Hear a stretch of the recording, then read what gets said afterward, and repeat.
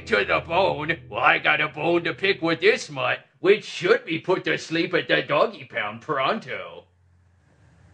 Fuck you.